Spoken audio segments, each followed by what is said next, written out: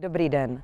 V rámci festivalu Meeting Brno představujeme 11 žen, které se nějak významně zasadily o město Brno nebo jeho okolí a možná vám ještě nejsou známy, protože jste třeba nedávali v dějepise pozor, stejně jako já.